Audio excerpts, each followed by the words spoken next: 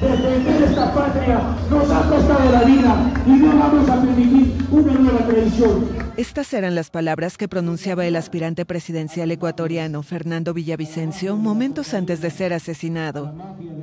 El candidato del movimiento de Centro Construye fue baleado el miércoles al momento de abandonar el Coliseo en el norte de Quito, donde realizó un acto de campaña. Hace una semana él y su equipo ya habían denunciado lo que consideraron una gravísima amenaza de alias Fito, líder de la organización narcotraficante Los Choneros, quien está detenido. La policía provocó una explosión controlada en el sitio del atentado donde al parecer había una bomba. El 20 de agosto, compañeras y compañeros, se decide entre la mafia y la patria.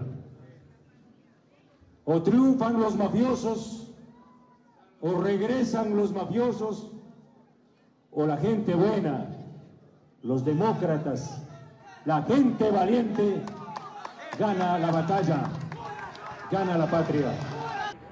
Según el médico Carlos Figueroa, amigo de la víctima y que le acompañaba en el momento del ataque, hubo como 30 disparos. El diario El Universo, el principal del país, señaló que Villavicencio fue asesinado al estilo sicariato y con tres tiros en la cabeza.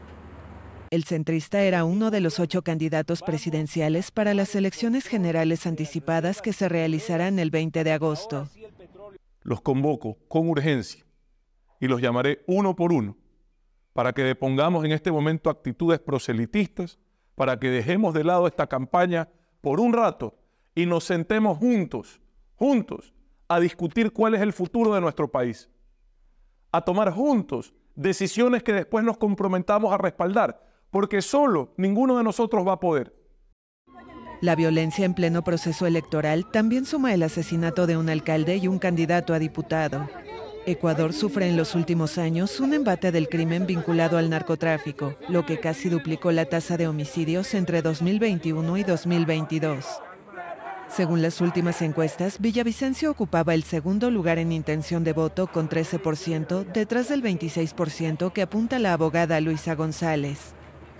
Tras informar del deceso, el presidente Guillermo Lazo aseguró que el crimen organizado ha llegado muy lejos y que el asesinato no quedará impune.